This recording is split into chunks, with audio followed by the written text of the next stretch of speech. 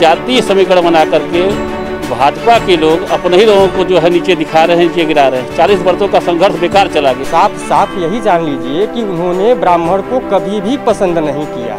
मुख्यमंत्री जी का और माननीय प्रदेश अध्यक्ष जी का ना आना एक तरह से हम लोगों को काफ़ी दर्द देता है। नमस्कार आप देख रहे हैं लोक सेवा न्यूज़। मैं हूँ आपके साथ रजत त्रिपाठी। बीजेपी के एक बड़े नेता हुआ करते थे उपेंद्र दत्त शुक्ल गोरखपुर क्षेत्र के। लोकसभा उपचुनाव भी लड़े, लेकिन ऐसा माना जाता है कि पार्टी के कुछ लोगों ने उनका साथ नहीं दिया और वो चुनाव हार गए। खैर 2020 में उनका निधन हो गया। वो पार्टी के प्रदेश उपाध्यक्ष थे। बड़ा दायित्व तो होता है, बड़ा पद होता है। बीजेपी में प्रदेश उपाध्यक्ष होना, वो भी उस समय जब बीजेपी में बड़े जुगाड़ से जो है पद मिलता है। लेकिन ऐसा माना जाता है कि उनके निधन के बाद जो यहाँ के स्थानीय लोग हैं, स्थानीय पदाधिकारी हैं, स्थानीय कार्यकर्ता हैं, वो बीजेपी के शीर्ष नेतृत्व प्रदेश के, खासकर मुख्यमंत्री, प्रदेश अध्यक्ष और अन्य बड़े नेताओं से रुष्ट हैं, नाराज़ हैं। उसकी सबसे बड़ी ये, बड़ी वजह ये बताई जाती है, क्योंकि जब उनका निधन हुआ, चलिए उस दौरान अगर लॉकडाउन था, उसके बाद मुख्यमंत्री योगी आदित्यनाथ का कार्यक्रम कई बार बना गोरखपुर का, आते हैं, बराबर आते हैं, लेकिन कभी वो इस सरया तिवारी में नहीं आते। ये जो आप घर देख रहे हैं, ये उपेंद्र दत्त शुक्ल जी का घर है। अब आप सोच सकते हैं कि जब राजनीति में लोग आते हैं तो पैसा कमा करके ग्राम प्रधानी चुनाव जीतने के बाद भी लोग बड़ी बड़ी बिल्डिंगें खड़ा कर लेते हैं। लेकिन उन्हों, वो बड़े पदों पर होते हुए भी ऐसा कुछ कर नहीं सके। इसके अलावा, जिस जगह, जिस संगठन के वो प्रदेश उपाध्यक्ष हैं, उसके प्रदेश अध्यक्ष यानी स्वतंत्र देव सिंह भी कभी वो उनके निधन पे वो आए नहीं। हाँ ट्विटर पे उन्होंने संवेदनाएँ ज़रूर दी थी।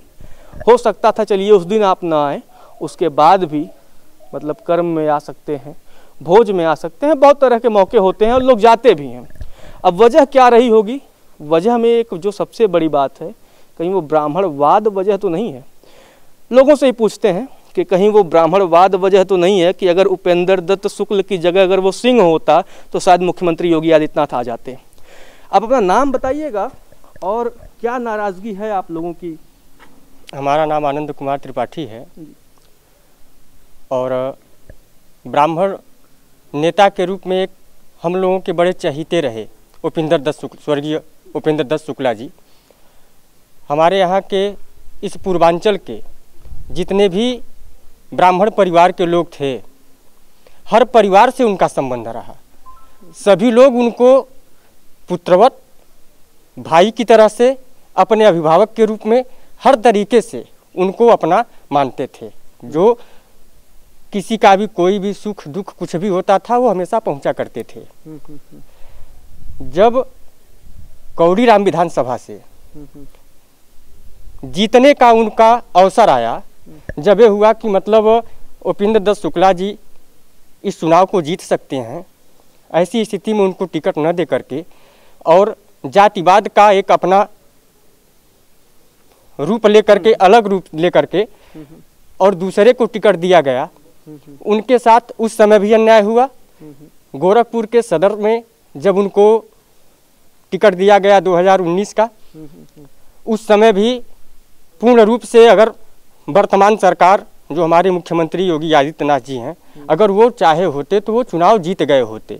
लेकिन उन्होंने थोड़ा भी प्रयास नहीं किया और अपने लोगों को बिल्कुल रोके रखा कि मतलब ये एक ब्राह्मण नेता है। अगर ये कहीं किसी भी रूप में अगर ये शहर का, अगर ये सांसद बन गया, इसके हाथ में प्रतिनिधित्व शहर का आ गया तो हम यहाँ से बिल्कुल विलुप्त हो जाएँगे। क्योंकि उपिंदर दत्त शुक्ला ब्राह्मण समुदाय के, ब्राह्मण परिवार के एक सबसे होनहार और सबसे दिलेर नेता थे। वो अपनी बात कहीं भी बेबाक रखते थे। अच्छा ये बताइए जब मुख्य निधन उनका हुआ अब तो मेरे ख्याल से तीन तीन साढ़े तीन महीने से ज़्यादा का वक्त हो चुका है। मुख्यमंत्री योगी आदित्यनाथ कई बार क्षेत्र में आए यहाँ नहीं आए उसके पीछे की आप क्या वजह मानते हैं? बिल्कुल यही है। गोरखपुर में और भी सारी मौतें हुई हैं। उपिंदर दत्त शुक्ला जी के बाद बहुत सारी मौतें हुई हैं जिसमें उन्होंने शिरकत किया है वहाँ पहुँचे हैं। उसके लिए कोरोना नहीं रहा होगा। कोरोना तो आज भी चल रहा है। कल भी चलता रहेगा मौतें होती रहेंगी। लेकिन जो इनके साथ जो जिस तरीके का व्यवहार किया गया वो अन्य लोगों के साथ तो नहीं हो रहा है उनके साथ भी तो होना चाहिए। वजह क्या रही इसके पीछे की? बस यही कि एक न पसंद करना ये तो यही दृष्टि में आता है। पसंद में कहीं जाति जातीयता है बिल्कुल जातीयता है। हम ठाकुर हैं वो ब्राह्मण है। हम्म, बस यही स्वरूप है इसका। साफ़ साफ़ यही जान लीजिए कि उन्होंने ब्राह्मण को कभी भी पसंद नहीं किया। अच्छा हाँ। इसी वजह से जो है अपने एक ऐसे भी जो नेता थे उनके साथ उन्होंने काफ़ी लंबा समय दिया। उपेंद्र शुक्ला जो है पिछले 30-35 सालों से ज़्यादा वक्त तक उन्होंने भाजपा की सेवा की। और मुख्यमंत्री योगी आदित्यनाथ तो अभी 25 साल का उनका राजनीतिक जीवन मुश्किल से रहा है। अच्छा और भी लोगों से बातचीत करेंगे। सोशल डिस्टेंसिंग का भी हम पालन कर रहे हैं। ऐसा ना हो कि भाई कहीं कुछ को आफत कल को आ जाए। अपना नाम बताइएगा और गजेंद्र राम त्रिपाठी। अच्छा क्या लगता है कि मतलब उपेंद्र जी जो है इतने बड़े नेता रहे प्रदेश के? जी। अ, उनके जो है निधन के बाद किसी बड़े नेता का ना आना जी। क्या मानते हैं इसके पीछे वजह? देखिए आदरणीय उपेंद्र जी हम लोगों के लिए मार्गदर्शक थे जननायक थे और पूर्वांचल के एक बड़े कद्दावर नेता थे। और उनका असामयिक चले जाना हम लोगों को हमेशा दुख देता है और आज भी दुख है हम लोगों को। जहाँ तक हम लोग आकलन कर रहे हैं कि माननीय मुख्यमंत्री जी को और माननीय प्रदेश अध्यक्ष जी को तो कम से कम उनके परिवार से आकर मिलना चाहिए था, ढांढस बधाना चाहिए था। और सभी के अंदर ये रोष है, या आम जनता हो, या गाँव के लोग हों, या कोई भी हो, सभी संगठन के जितने भी छोटे बड़े पदाधिकारी थे, नेताजी सबको बड़ा स्नेह करते थे और सब लोग नेताजी को बड़ा स्नेह देते थे। पर मुख्यमंत्री जी का और माननीय प्रदेश अध्यक्ष जी का ना आना एक तरह से हम लोगों को काफ़ी दर्द देता है। मुख्यमंत्री जी अगर चाहते तो माननीय जिला अधिकारी महोदय को आश्वासित करके बुलवा सकते थे उनके परिवार से मिल सकते थे। कोरोना काल चल रहा है नहीं आए सरया तिवारी में तो कम से कम उनके परिवार को मंदिर में ही बुला के कम कई बार आना हुआ गोरखपुर में। उनके परिवार से उनको मिलना चाहिए था। पर उन्होंने ऐसा नहीं किया। इसका दर्द हर एक कार्यकर्ता को है और 40 साल के संघर्षों के बाद उनके परिवार को जो मिला है वो आप सब देख रहे हैं कि एक ग्राम प्रधानी का चुनाव होता है तो प्रधान होने के बाद लोग क्या क्या करते हैं? और उनका मकान आप देख रहे हैं उनका गाँव आप देख रहे हैं। तो लगता आग- है आपको कि मतलब उपेंद्र शुक्ला जी की जो है जी। वो मुख्यमंत्री ने उपेक्षा की है अगर उपेक्षा की है तो क्यों की है? अब इसके बारे में तो मैं नहीं कुछ कहूँगा। ये संगठन की बात है और माननीय मुख्यमंत्री जी की बात है। पर प्रदेश अध्यक्ष जी को तो ज़रूर आना चाहिए था। उनके संग साथ कदम से कदम मिलाकर चलने वाले प्रदेश के बड़े कद के नेता थे उपेंद्र जी। प्रदेश उपाध्यक्ष थे क्षेत्रीय अध्यक्ष थे जिला अध्यक्ष थे। कई अनेकों दायित्व उन्होंने निर्वहन किया है और चालीसों साल का यह संघर्ष जो है को देखते हुए सरकार को इनके बारे में कुछ सोचना चाहिए संगठन को कुछ ना कुछ सोचना चाहिए। और मैं आप लोगों के माध्यम से माननीय प्रदेश अध्यक्ष जी माननीय मुख्यमंत्री जी माननीय राष्ट्रीय अध्यक्ष जी माननीय प्रधानमंत्री जी से अनुरोध करता हूँ कि कुछ न कुछ उनके परिवार के बारे में सोचा जाए। बीजेपी अक्सर अपना दावा करती है कि वो अपने कार्यकर्ताओं अपने नेताओं का बड़ा सम्मान करती है लेकिन हकीकत आपके सामने है। और गोरखपुर के लोगों का दर्द उस वक्त और ज़्यादा बढ़ गया कि एक बरसाती नेता कुछ ही समय पहले जयप्रकाश निषाद हम लोग भी थोड़ा पत्रकारिता में हैं लेकिन बरसाती शब्द इस्तेमाल हम कर सकते हैं। बरसाती शब्द इसलिए कि मौसम देख करके कुछ ऐसे मेढक होते हैं, तालाब, नदी, कुएँ इत्यादि बदल लिया करते हैं। तो जब जयप्रकाश निषाद राज्यसभा भेज दिए गए, उसके बाद यहाँ के लोगों का गुस्सा और हो गया। लोगों का ये भी कहना है भाई, जब आप ऐसे ही बाहरी लोगों को आप पद दे दोगे तो अपने कार्यकर्ता बेचारे क्या करेंगे? तो जयप्रकाश निषाद को तो पद मिल जाता है। कुछ ही समय पहले वो पार्टी में आते हैं। और एक व्यक्ति जिसने पार्टी के लिए पैंतीस चालीस साल दिए, उनका निधन होता है। और मुख्यमंत्री प्रदेश अध्यक्ष, कोई उनको नहीं पूछता? मैं अरुणक्षराम त्रिपाठी, ग्राम सभा सरिया से बोल रहा हूँ। और उपेंद्र शुक्ला के बहुत निकट रहने वाले हैं, घर के बगल के हैं। और भाजपा के लोगों ने उनका जो इस तरीके से उपहास किया है, हम ग्रामवासी बहुत दुखी हैं। जो व्यक्ति दो दिन पहले भाजपा में आया है, उसको इतना बड़ा पद मिल गया। आज जो चालीस वर्षों से संघर्ष किया, उस परिवार को पूछने वाला कोई नहीं है।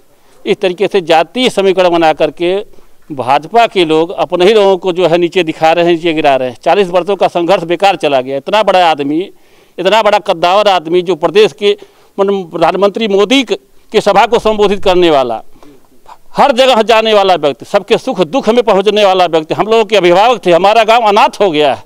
लेकिन भाजपा का कोई पदाधिकारी, प्रदेश का पदाधिकारी, राष्ट्रीय स्तर से कोई आदमी नहीं आया है। इसलिए हम ग्रामवासी बहुत दुखी हैं और अनाथ हो गए हैं। उपेंद्र शुक्ला के न रहने से हम लोग को बड़ी क्षति हुई। हमारे गाँव का विकास अवरुद्ध हो गया। अब इससे ज़्यादा हम कुछ नहीं कह पाएँगे। और हमारे ग्राम के लोग हैं, उनसे भी जरा पूछ मतलब मतलब भावुकता वो दिख रही है भाई, जब आपके एक क्षेत्र का नेता होता है, वो काम करता है।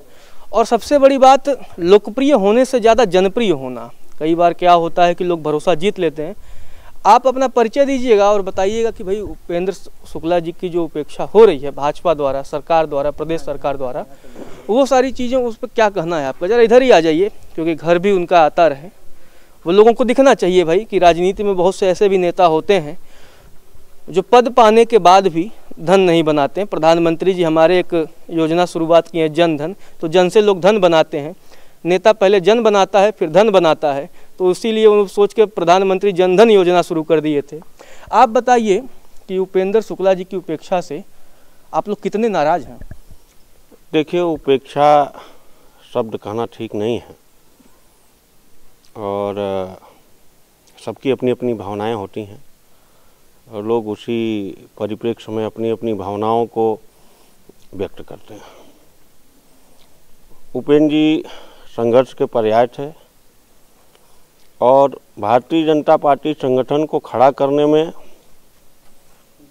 उन्होंने दिन रात जब भारतीय जनता पार्टी को खोजने से कार्यकर्ता नहीं मिलते थे, तब उपेंद्र जी, डॉक्टर रमापति राम त्रिपाठी, श्री स्वर्गीय ओंकारनाथ त्रिपाठी के साथ तब गोरखपुर और महाराजगंज एक ही ज़िले में था। और गोरखपुर जिला कहलाता था। गोरखपुर में संगठन को खड़ा करने का काम किया। और सबसे पहले ये खजनी विधानसभा में आता है, उन्नीस सौ नवासी में स्वर्गीय मिठाई लाल शास्त्री को रिक्शा पर बैठ करके, प्रचार करके मिठाई लाल शास्त्री जी के पास भी कुछ नहीं था। वो साइकिल से चलते थे, पैदल चल करके। उन्नीस सौ निवासी में पूर्वांचल में भारतीय जनता पार्टी का पहला विधायक इन लोगों ने मेहनत करके दिया था। संगठन ने उपेंद्र जी के संघर्ष को देखते हुए, उनके कामों को देखते हुए जिला अध्यक्ष बनाया। उन्नीस सौ छियानवे में कौड़ीराम विधानसभा में पार्टी का प्रत्याशी बनाया था। फिर क्षेत्रीय अध्यक्ष बनाए गए गोरखपुर लोकसभा उपचुनाव में पार्टी के प्रत्याशी बनाए गए। फिर प्रदेश के उपाध्यक्ष बनाए गए। तो ये सारी बातें जो आप कह रहे हैं वो ठीक है। मेहनत किया तो बने। अब उतना समय देने के बाद अगर प्रदेश उपाध्यक्ष तक पहुँचे तो संगठन का तो मुझे नहीं लगता बहुत बड़ा योगदान रहा है। लेकिन एक व्यक्ति जिसने इतना लंबा समय दिया उसका निधन हो जाए ना आना। किसी का ना आना। कम से कम अगर चलिए सरकार देखिए- देखिए नहीं आना ज़रूर खलता है और लोगों की पीड़ा जायज़ भी हो सकती है, लेकिन आप भी जान रहे हैं कोरोना काल है। और इसमें भारतीय जनता पार्टी की प्रदेश में सरकार है। तो ये भी संभव है कि लोगों में संदेश देने के लिए माननीय मुख्यमंत्री जी या प्रदेश अध्यक्ष जी हालाँकि प्रदेश अध्यक्ष जी को अपेक्षा लोग कर रहे थे कि पहले दिन ही उनको आना चाहिए था। उनकी कमेटी के वो एक जिम्मेदार पदाधिकारी थे।